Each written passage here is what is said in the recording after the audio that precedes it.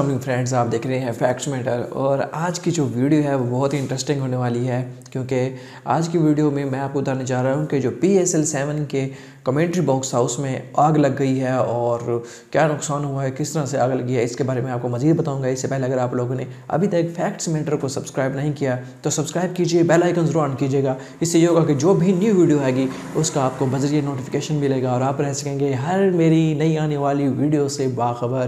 तो फ्रेंड्स आपको पता चले कि पी एस एल सेवन के आगाज़ पर उन्होंने एक इंतज़ामिया ने एक कमेंट्री बॉक्स बनाया था, जो कि एक आर्जी कमेंट्री बॉक्स था, उसमें आग भड़क उठी। हमें अपडेट्स ये मिली हैं कि उसकी जो आग वो वहाँ पे लगी है, वो सर्कट शॉर्ट होने की वजह से वहाँ पर आग लगी है, जिसकी वजह से एक अच्छी बात यह है कि वहाँ पर कोई भी जानी नुकसान नहीं हुआ और उस पर आग पे काबू पाया जा पाया जा चुका है। तो इंतज़ामिया कहना है कि हमने वहाँ पे फायर ब्रिगेड्स और मुतल रेस्क्यू टीम्स का वहाँ पे इंतज़ाम किया हुआ है ताकि किस, कोई भी नागहानी, कोई भी किसी चीज़, कोई भी वकुआ होता है तो उससे बर वक्त निमटा जा सकता है। इंतज़ाम हमारे हो चुके हैं मुकम्मल।